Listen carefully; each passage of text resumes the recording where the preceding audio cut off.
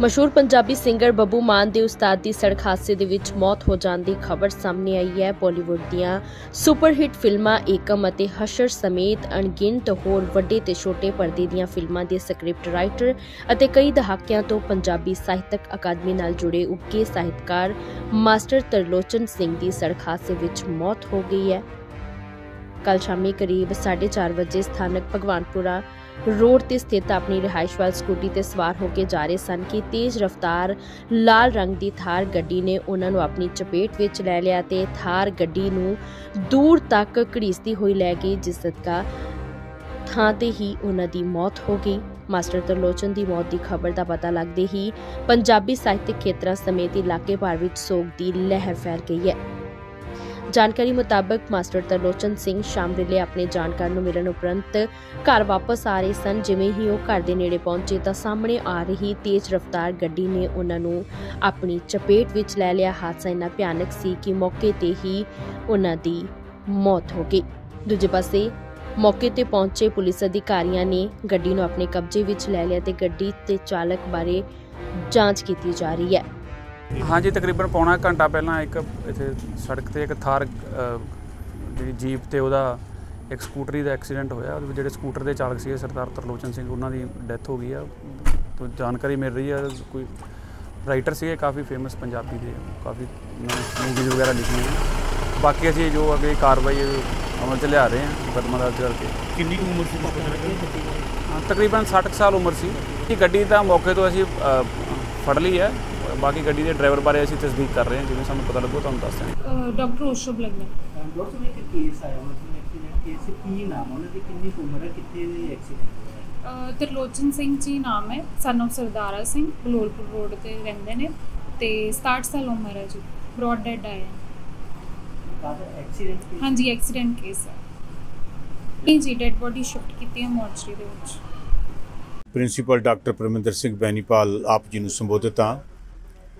ਅੱਜ ਪੰਜਾਬ ਦੇ, ਪੰਜਾਬੀ ਦੇ ਜਿਹੜੇ ਸਾਹਿਤਕ ਹਲਕੇ ਨੇ, ਸੱਭਿਆਚਾਰਕ ਹਲਕੇ ਨੇ, ਪੰਜਾਬੀ ਦਾ ਰੰਗਮੰਚ ਹੈ, ਉਹ ਸਾਹਿਤਕ ਹਲਕਿਆਂ ਦੇ ਲਈ ਬੇਹੱਦ ਅਸੀਂ ਦੁਖੀ ਹਿਰਦੇ ਦੇ ਨਾਲ ਇਹ ਦੁਖਦਾਈ ਖਬਰ ਸਾਂਝੀ ਕਰ ਰਹੇ ਹਾਂ ਕਿ ਅੱਜ ਕੋਈ ਤਕਰੀਬਨ 4 ਕੁ ਵਜੇ ਦੇ ਕਰੀਬ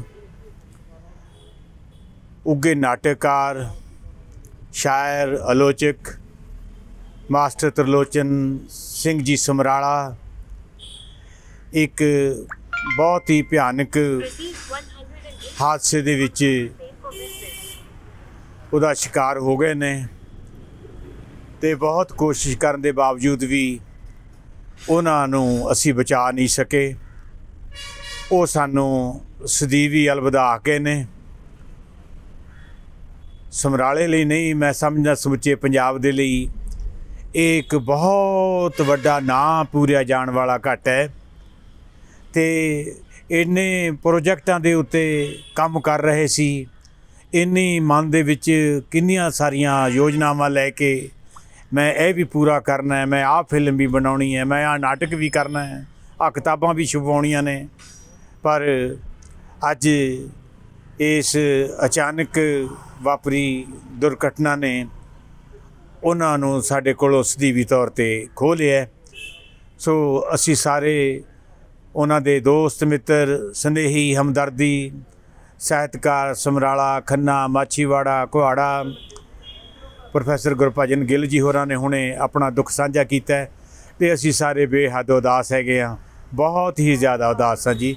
ਇੱਕ ਨਾ ਪੂਰਿਆ ਜਾਣ ਵਾਲਾ ਘਾਟਾ ਸਮੁੱਚੇ ਸਾਡੇ ਪੰਜਾਬ ਨੂੰ ਪਿਆ ਹੈਗਾ ਮਾਸਟਰ ਜੀ, ਮੇਰੇ ਕੋਲ ਹੀ ਬੈਠੇ ਸੀਗੇ ਕਚਹਿਰੀ ਤੇ ਜਦ ਹੀ ਉੱਠ ਕੇ ਗਏ ਨੇ, ਉਹ ਅਸੀਂ 13 ਤਰੀਕ ਨੂੰ ਸਾਡੀ ਮੀਟਿੰਗ ਸੀਗੀ ਲੇਖ ਮੰਚ ਦੀ।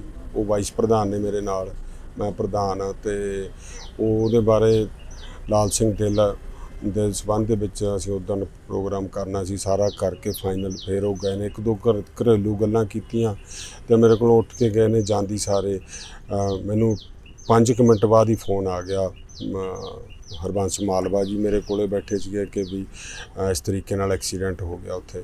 ਤੇ ਅਸੀਂ ਜਦੋਂ ਉੱਥੇ ਗਏ ਆ ਉੱਥੋਂ ਫਿਰ ਹਸਪਤਾਲ ਆ ਗਏ ਜੀ ਬਸ। ਲੇਖਕ ਜਗਤ ਨੂੰ ਵੱਡਾ ਘਟਾ ਕੀ ਕਹਿਣਾ ਚਾਹੋਗੇ ਇਹਦੇ ਬਾਰੇ? ਘਾਟਾ ਸ਼ਬਦ ਮੇਰੇ ਖਿਆਲ ਦੇ ਵਿੱਚ ਬਹੁਤ ਛੋਟਾ ਹੈਗਾ। ਮਾਸਟਰ ਤਰਲੋਚਨ ਜਿੱਡਾ ਬੰਦਾ ਵੱਡਾ ਸੀਗਾ ਉਹ ਸ਼ਾਇਦ ਕੱਲੇ ਪੰਜਾਬ ਨੂੰ ਨਹੀਂ ਸਾਰੇ ਸਾਰੇ ਭਾਰਤ ਵਰਸ਼ ਦੇ ਜਿਹੜੇ ਲੇਖਕਾਂ ਨੂੰ ਉਹਨਾਂ ਨੂੰ ਨਾ ਪੂਰਾ ਹੋਣ ਯੋਗ ਘਾਟਾ ਹੈਗਾ ਇਹ। ਔਰ ਸਾਡੇ ਕੋਲ ਇਸ ਵਕਤ ਸ਼ਬਦ ਨਹੀਂ ਹੈਗੇ ਕਿ ਕਹੀਏ ਕਿ ਵੀ ਕੌਣ ਸਾਡਾ ਚਲੇ ਗਿਆ। ਸ਼ਾਹੀ ਸਾਹਿਬ ਮੇਨ ਰੋਡ ਤੇ ਤਾਂ ਮੰਨ ਸਕਦੇ ਆ ਪਰ ਉਹ ਇੱਕ ਪਿੰਡ ਨੂੰ ਜਾਣ ਵਾਲੀ ਸੜਕ ਹੈ ਯਕੀਨ ਜਿਹਾ ਨਹੀਂ ਹੋ ਰਿਹਾ ਵੀ ਇੱਥੇ ਵੀ ਡੈਥ ਹੋ ਸਕਦੀ ਹੈ ਐਕਸੀਡੈਂਟ 'ਚ। ਮੇਰੇ ਖਿਆਲ ਚ ਗੱਡੀ ਜੀ ਬਹੁਤ ਜ਼ਿਆਦਾ ਤੇਜ਼ ਸੀਗੀ ਤੇ ਕੰਧ ਤੇ ਦੇ ਵਿਚਕਾਰ ਉਹ ਆ ਗਏ ਉਹਨਾਂ ਦੀ ਜਿਹੜੀ ਬਾਈਕ ਸੀਗੀ ਤੇ ਉਹਦੇ ਵਿੱਚ ਫਿਰ ਉਹ ਜ਼ੋਰ ਦੀ ਹੁਣ ਤੁਹਾਨੂੰ ਪਤਾ ਫਿਰ ਉੱਥੇ ਦਾ ਜੇ ਕੰਧ ਦੇ ਵਿਚਕਾਰ ਬੰਦਾ ਆ ਜਾਂਦਾ ਜੀ 20 25 ਕਿਲੋਮੀਟਰ ਦੀ ਸਪੀਡ ਤੇ ਵੀ ਹੋਵੇ ਚਾਹੇ, ਉਹ ਸੁਣਨ ਚ ਆਇਆ ਕਿ ਵੀ ਗੱਡੀ ਕਾਫੀ ਤੇਜ਼ ਸੀਗੀ।